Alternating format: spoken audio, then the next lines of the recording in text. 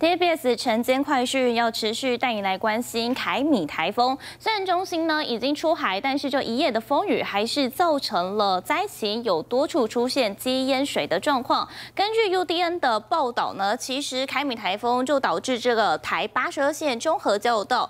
有积水，而且呢高度是大概半个轮胎高。警方也紧急封路管制，而且也提醒用路人要来改道来行驶。而水上的公所呢，还有警方也对呢这永清二号桥的北岸桥台到县道一六八路口来实施封路。另外呢，在台八十二线的中和交流道的东西向出口的匝道也都有进行相关的管制。至于县长翁章良也呼吁了这民众非必要不要外出，要来确保安全。接续要带您看到这个新竹县的弊案，现在是连环爆。甚至也被酸了，这根本就是已经整组坏掉。根据自由时报的报道，新竹地检署的侦办的检察官二十三号呢，是指挥搜索新竹县政府公务处办公室等六个地方，也通知九人到案涉及下水道工程的弊案，其中两人也被羁押禁见。所以，民进党的新竹县议员欧阳婷就批评了，他说：“这县府呢，从县长到基层约聘人员，全部都。”都有涉案说县府根本是整组坏掉，而且是积弊已久。另外，像是蔡雅轩议员也强调了这些贪污舞弊的行为严重损害了公共利益，也要求必须要来加强监督相关的局处，来避免这公共资源被浪费。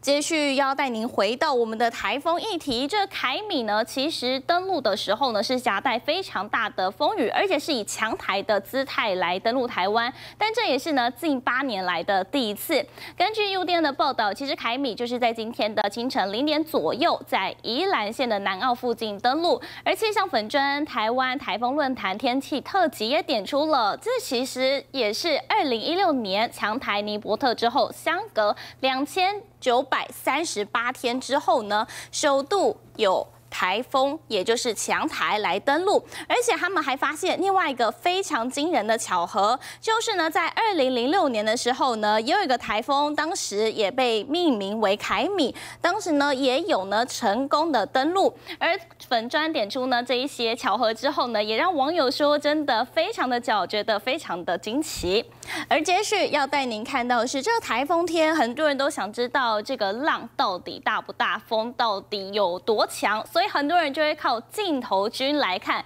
只是镜头君这回也 hold 不住风雨了。根据 ET Today 的报道，其实凯米台风呢侵袭台湾，在还没有登陆的时候呢，就已经带来了强风暴雨。东部海岸的国家风景管理处才在呢二十四号昨天中午十二点说，这位于海景第一排的监看太平洋的台东三仙台的镜头君正在全力执勤当中。但是没有想到，到下午三点多的时候。就传出这个镜头君已经不敌强风，是再次的阵亡，所以呢，导致很多网友正在看，发现镜头君怎么突然消失了，就留言说这个 RIP 帮他哀嚎。而其实像之前二零二三年海葵台风袭台的时候，同样有很多网友涌入这个台东三仙台的即时影像，想看这个镜头君。没想到在台风登陆之后呢，这画面也是变得越来越模糊，最终也不敌十六级的强风，遭到。摧毁，当时这个镜头军呢，其实是花了两周才修复完成，没想到这回遇到凯米又再度阵亡，要修好恐怕又需要一段时间。最后带您看到，虽然这个台米的中心呢已经出海了，但其实还是会持续的影响台湾，因为在台风北台之后，还是会带来陆续的风雨。根据 UDN 的报道，在台湾海峡南部呢有旺盛的云雨带发展，而随着台风北台也会移入南部陆地，所以呢就有这个天气风险公司表示呢，今天一整天这个海峡上都会有一波波的雷雨包发展，而且会移入。陆地。预计呢，这个雨量是非常可观的。另外呢，像是在中南部的雨呢，其实也在快速的累积当中。在台风南侧的环流也是非常的宽广，西南风也非常旺盛。预计中南部还是要维持在最高警戒，因为呢，这个雨量还是会很大。以上呢，就是为您掌握到最及时的新闻内容，将镜头交还给主播舒瑞。想看最完整的新闻内容，记得下载 TVBS 新闻网 APP。